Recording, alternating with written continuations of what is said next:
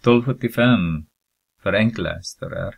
är x y genom 6 multiplicerar med 6 x y genom 3. Så har vi x multiplicerar med x är x upphöjt till 2 och sen vi har y upphöjt till 2 genom 18.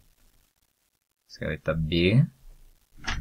Eh, AB genom 3c multiplicerar med 2c genom AB.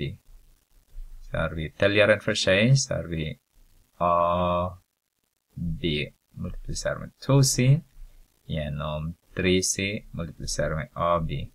Så A blir 1, sorry, och B blir 1 och C blir 1. Så den som är kvar är 2 tredjedelar.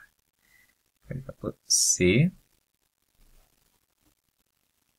Eh, xy genom 6 dividerar med XI genom 3 blir det så här.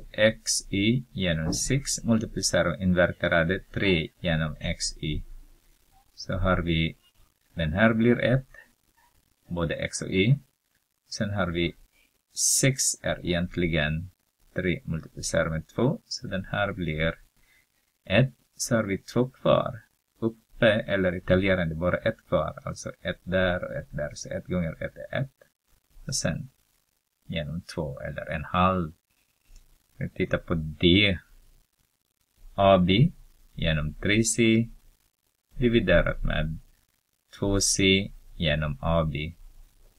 Så har vi AB genom 3C multiplicerat med AB genom 2C. Deljaren för sig, så A upphöjt till 2, B upphöjt till 2 och nämnaren för sig 6, C upphöjt till 2.